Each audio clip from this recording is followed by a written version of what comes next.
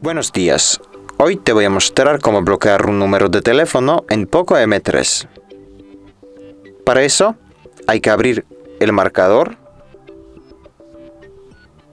y ahora hay que pulsar estos tres puntos aquí arriba y pulsar ajustes. Aquí pulsamos números bloqueados y pulsamos añadir un número. Introducimos un número y pulsamos bloquear.